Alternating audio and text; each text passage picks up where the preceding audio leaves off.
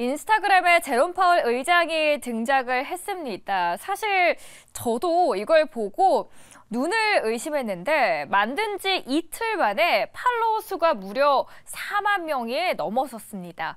그만큼 관심이 뜨겁다라는 얘기죠. 페드가 인스타그램 계정을 개설하고 올린 첫 게시물은 뭐였을까요? 이 왼쪽에 보이시는 건데요. 안녕하세요. 저는 제롬 파월입니다. 라고 시작을 합니다. 한 5초 동안 저는 이걸 보면서 AI인가 라고 고민을 했던 것 같아요.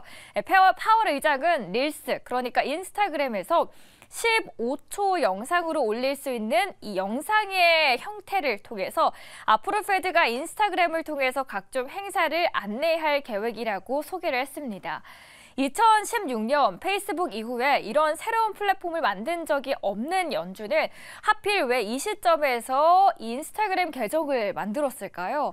연준에서는 소식과 교육 콘텐츠에 대한 접근성을 높이기 위해서라고 말하지만 기사에서는 바라보는 시선이 조금은 다른 것 같습니다. 금리 너무 높아지니까 불만을 이런 식으로 잠재우려는 거 아니야? 라는 합리적인 추리가 나오고 있는 거죠. 그래서 이번에 월스트리트 저널에서는 신중한 언어 사용으로 잘 알려진 페드가 굳이 인스타그램과 스레드에 합류했다라는 것에 대해서 의미가 더 크다라고 이야기합니다.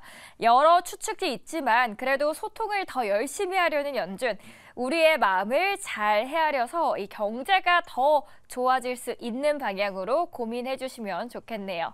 두 번째 외신도 함께 만나보러 가시죠. 이번에는 국채 이야기입니다. 미국의 10년물 국채 금리가 16년 만에 최고치를 기록하면서 고공행진하고 있습니다. 그런데 문제는 이 월가는 국채 금리가 더 상승할 거라 상승할 거다라는 이야기를 하고 있다는 거죠. 관련해서 CNBC의 기사를 한번 가져왔습니다. 10년물 국채 금리가 5.25%를 제대로 넘으면 다음은 7%대까지도 넘어설 수 있다라고 이야기를 합니다. 합니다. 그래서 이번에 이 시간에 제가 전해드렸었던 이슈 기억하실 겁니다. 월가의 황제라고도 불리는 제이미 다이먼, JP모건 체이스 회장의 경고가 새삼 주목받고 있습니다. 당시의 제목도 이랬습니다. Be prepared for 7% interest rates. 이걸 누가 말했냐? 제이미 다이먼이 이야기했죠. 저번 인터뷰에서 지금도 7% 금리가 가능하냐고 물었지만 가능한 일이다라고 이야기하면서 그때 당시 놀라면서 설마 했던 반응이 지금 현실 가능성이 더 높아지고 있는 겁니다.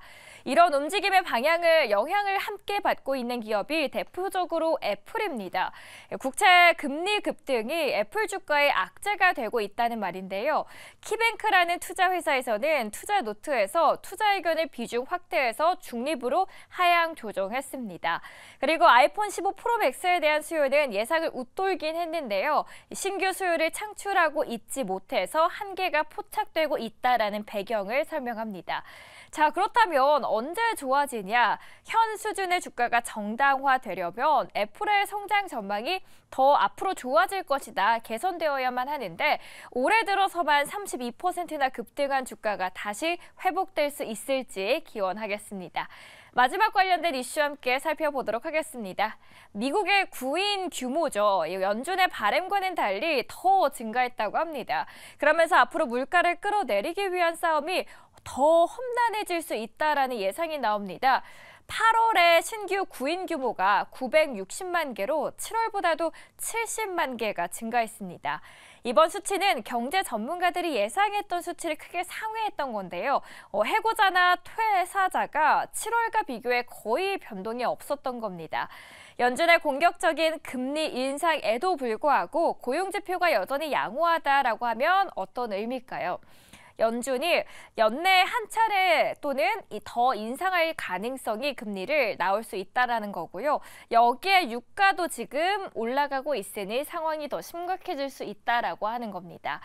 연준은 올해 FOMC 회의를 한 두 차례 더 가질 예정입니다. 기업인들은 비교적 낙관적으로 보고 있는데요. 근로자들을 구인하기가 어렵고 금리 상승으로 사업을 확장하지 못한다라는 점이 높아진 물가로 인해 공급을 받지 못하는 것이 고질적으로 남아있다라는 파월 의장에게 전달한 상황입니다. 저희 오늘 외신 스케치 통해서 세 가지 주요했던 이슈들 함께 살펴보는 시간 가졌습니다.